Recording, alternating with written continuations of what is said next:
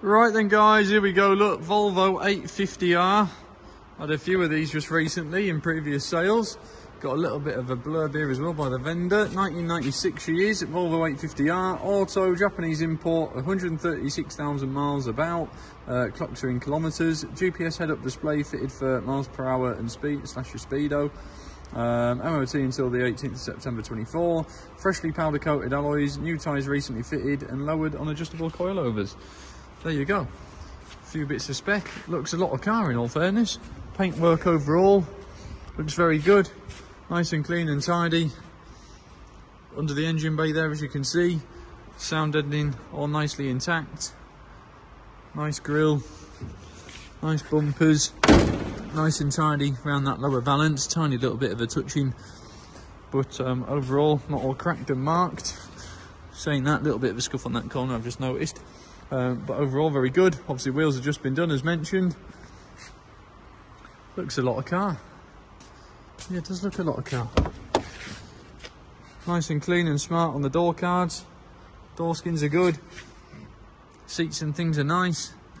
Same with the dashboard, etc. We'll get round that side in a minute. Nice and neat in the struts. There you go well worth coming and, uh, and having a look at, guys, that's for sure.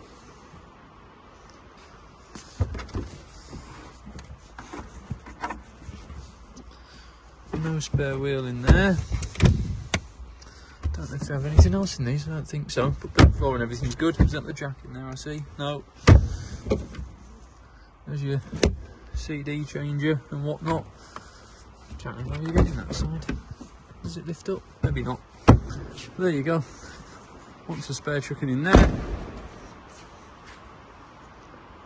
Obviously paperwork and whatnot guys will be in the office with the girls so when you're down having a look just touch base with them and they can let you know what we've got for it. Oh, I'll just fire it up so you can hear it run.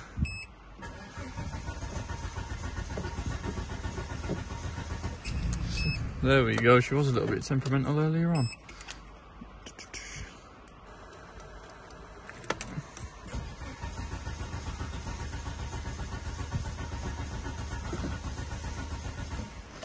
Think it's this software immobilizer, guys. It did the same thing with me earlier on.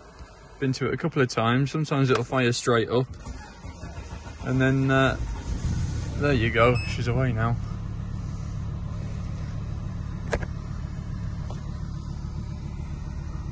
Not too sure what all that says.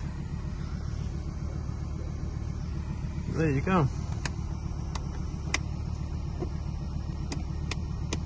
Might want a few electrics and bits and pieces sorting. I don't know if them heated seats, I'd imagine that button there should light up. Uh, so I might want a few little bits and pieces, but uh, no, nice car. Glued there on the headlining as you can see. Rest of it going towards the back looks okay. There you go. You better pop down, have a little look and see what you think.